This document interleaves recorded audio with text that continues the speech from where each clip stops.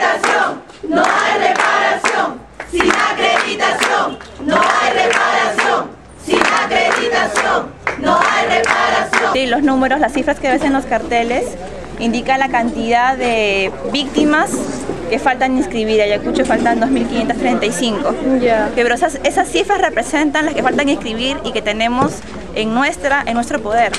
Pero nosotros pensamos que deben ser aún más porque hay muchas campañas que se dejaron si- sin hacer y por lo tanto víctimas que se- no se pudieron recoger sus testimonios, sus registros. ¿no? Lo que ustedes están diciendo es que si es que no se les otorga presupuesto no van a poder ni siquiera inscribir a Estas víctimas. cifras, estas cifras serían las que serían, pasarían a ser nuevamente víctimas porque serían ausentes de su inscripción.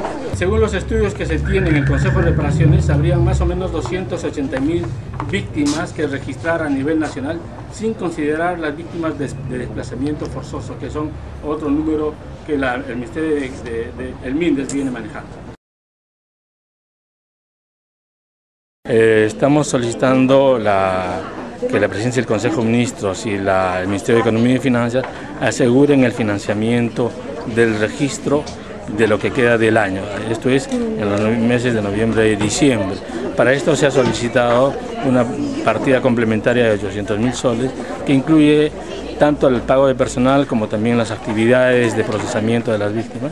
Ustedes han tenido problemas durante todo el... Desde, desde el inicio el- eh, solo se otorgó el 30, y siempre el 36-35% del presupuesto solicitado y nunca hubo una, digamos, una, una partida concreta de, de presupuesto que permita al Consejo hacer el despliegue masivo de- para el registro en todo a nivel nacional. Y de lo que va este año, la gran parte del año solamente Ya lo tiene, hemos lo recibido los saldos de otros programas de la presidencia del Consejo de Ministros. ¿Y quién está encargado de dar el dinero?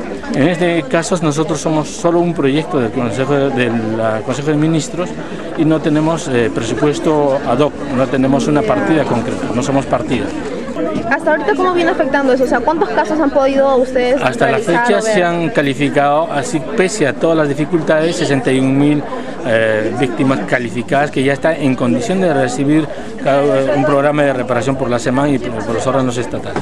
Y si es que no llegan a recibir este dinero o presupuesto en los días próximos, ¿qué es lo que va a pasar? ¿Ustedes qué van a hacer? Simplemente se quedará este grupo de personas y, y el proceso de reparaciones y el proceso de registro quedará truncado, así de sencillo.